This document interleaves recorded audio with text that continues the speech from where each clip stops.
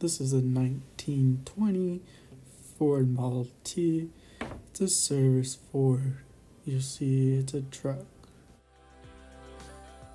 When you look at it, it doesn't look too good, but it's in pretty good condition for how old it is. And it, this truck used to service Ford vehicles that needed help on the road, so this would be the vehicle to get them done.